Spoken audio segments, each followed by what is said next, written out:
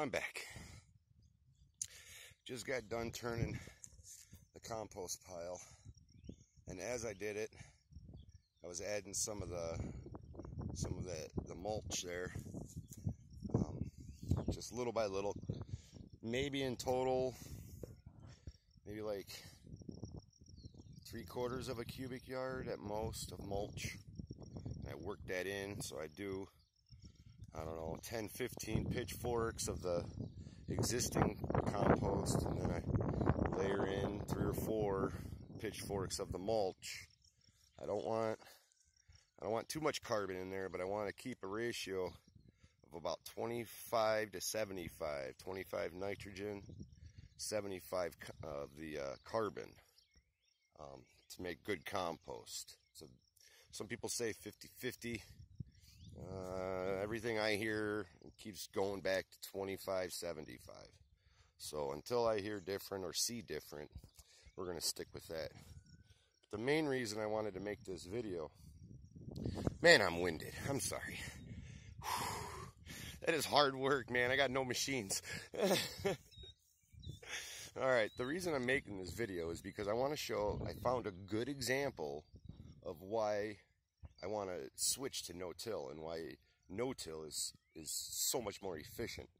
All right, now out here, there's nothing out here. We're in the middle of field out here, okay? And this hasn't been touched. This is all virgin soil, but this is the main area where I used to dump my debris when I was getting leaf cleanups and uh, lawn debris and all of that stuff, okay? So this soil has never never been turned over. And I want to show you how that is amazing. All right. I was looking, we're going to try to do this. I got a glare, so I can't really see a whole bunch, okay? But if you look down here, if you look down here, you see this little little divot here, okay?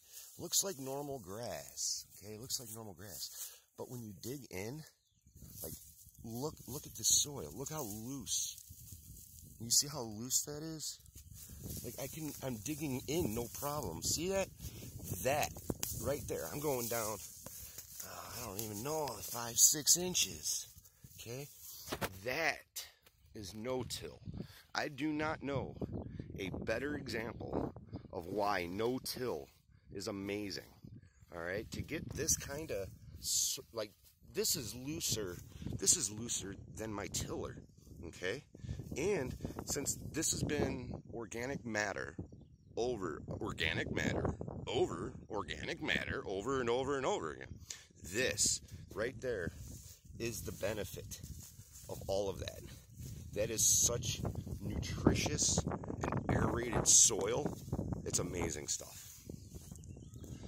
And that's why no-till is so much more efficient. The amount of moisture that that will hold it's amazing. The amount of nutrients that that'll feed your plants, it's overwhelming in there. And it's all because of no-till. You let it let it sit and rot. You aerate it by turning the uh, compost pile. But your whole garden should look like that. Okay?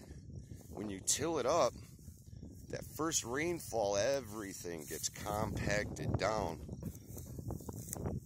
No-till it, the existing plants keep the shade on the on the soil so you're not getting excessive water loss from the heat and evaporation. And it's filled with organic matter and nutrients. So it's kind of a win-win. And you could see you could see where the pile was right over all here. All that was the pile. Now I just moved it over so this was the third turn.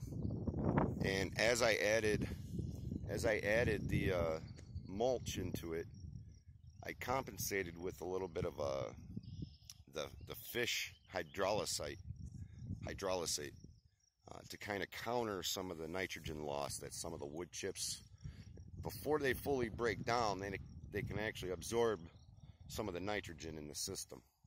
So I'm hoping adding some of the fish will uh, counteract that nitrogen and, and it won't deplete it.